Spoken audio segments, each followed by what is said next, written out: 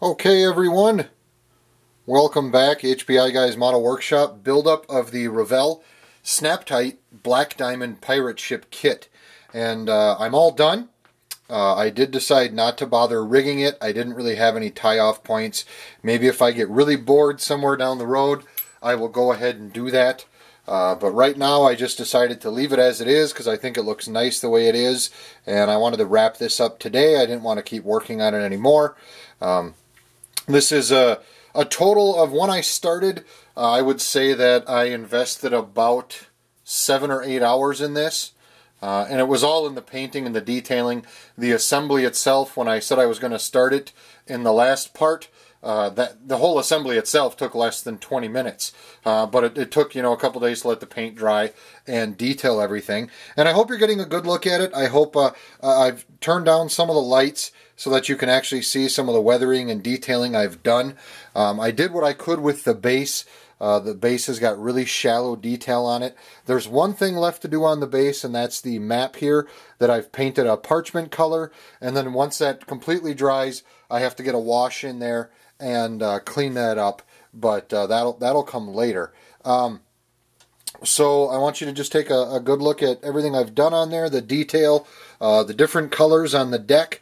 Uh, you can see as I was pointing out when I was working on this before, I was going to do a darker color on the upper decks and a lighter weathered color on the lower decks. And uh, you could see, uh, I think that turned out pretty good on there.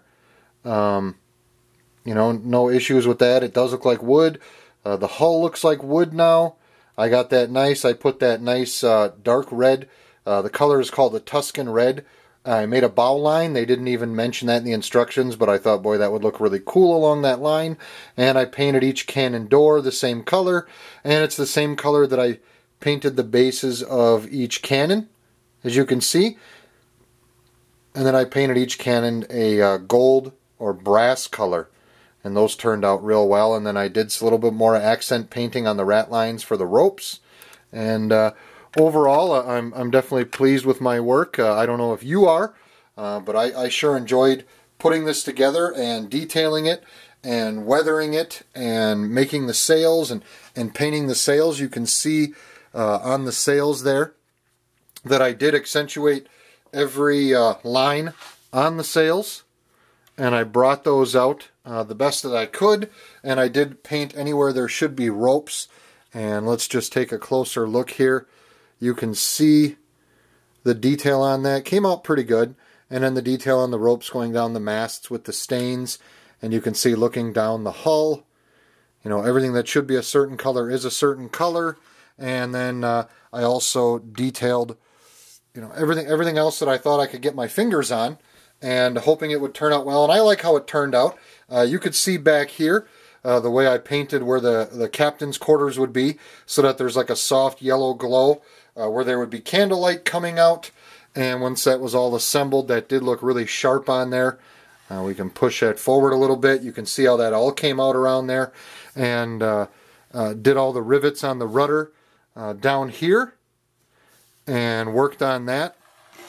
The base itself um, I just gave it kind of a dirty paint job with some gold and then rubbed a lot of it off so that it looked like it was actually a brass or antique brass. The, the writing on here on, on this is really, really, really shallow. So it's very hard to paint it and then rub the paint off without taking the paint off. So I use that to my advantage. And then I just did a, a light wash of uh, bone white around the skull and crossbones there on the base just to make it stand out. The ship's so small and the base is so small you really can't see a lot of it. Uh, but this is just, you know, a couple days worth of screwing around down in the basement after the holidays to see what I could do with this little $13 kit. I, I really like the kit. There were no issues with assembly. Uh, everything snapped together perfectly. I did not use one drop of glue on this entire kit. Um, I, it went together just fine the way it was without any problems whatsoever.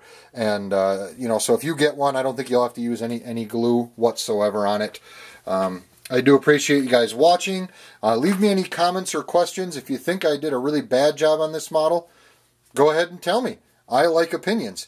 Um, you know, I usually build wood ship models. I, I saw this plastic one, grabbed it, and uh, decided to put it together. And I really like how it turned out. I had a lot of fun with it. I'm going to probably buy, I would, I'm just going to guess, but knowing me, I'm probably going to buy uh, two or three more of these because I have all different kinds of ideas for these. And I would also like to give some as gifts and let people see what I did with it and say, you know, you can give this to your kid and you can actually have them you know, work on it and just assemble it as it is.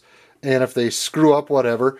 And because it's a Snap-Tite kit, if they decide later that they want to detail it, if they want to get all fancy schmancy with it, you know, and like I did, paint the masthead, paint the ropes, you know, detail everything, wash everything out, get it to look, you know, the way that I did, then they can go ahead and do so. Now, something I, I want to slide this back here and uh, oh, in case you're wondering how long it is, you can see here it's about 11 inches long total with, from the bowsprit to the back of the, the rudder there. Um, it does come with sails if you chose to not use these furled sails. Uh, I, I'm far prefer the way you, the way had assembled the different sails that they're all rolled up on this ship. I think that looks really classy. And when you paint them, with a, uh, a similar parchment color and do the lines on there. I think it comes out really nice. But if you were just snapping it together with a kid and they really wanted sails on that bad boy, the manual does have sails in it. And you can see those there. They are just paper. They are part of the manual. And there's some flags you can put on as well if you choose. And all they have to do is cut these out and attach them with these tabs and just use some white glue and it will hold them on there. I don't like how they look. Um, you know, of course, they're they're plain white on one side and they're colored on the other, and uh, it would definitely make it look like a toy. But for a kid to float this in a bathtub, they you know they would want to do that, and, I'd say go for it and let them do it. And there's a couple different sails uh, pages of sails that they can mess around with. So give me your comments in the section. Tell me what you think of this. Uh, tell me if you're going to build one. If you do, I really want to see it. Uh, send me pictures, make a video of it. Let's see how many uh, different variations of this ship we can do. And just before I leave, I want to let you know that an airbrush was never turned on for this project.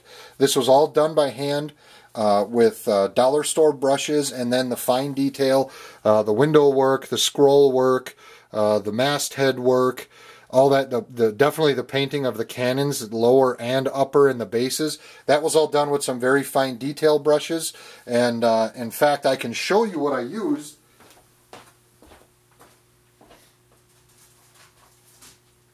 Uh, sorry to walk away there but I'll show you what I used here. And that was this set of brushes that I got from Amazon for just over a dollar and free shipping. They're nail brushes. They're they're called nail art brushes, and they're dirt cheap, available on Amazon, and they have super fine points, and they work great. And as if you if you wear them out, I haven't yet, but if you wear them out, you can just throw them away and buy a new set. Once again, thanks for watching. I hope you're having a great Thanksgiving weekend. I know I had a lot of fun building this, and I can't wait to uh, to give this to a, a, kid I know and let them have it as a display in their room. And I want to build one with them and see how they do on it. Thanks again, and we'll see you at the next video.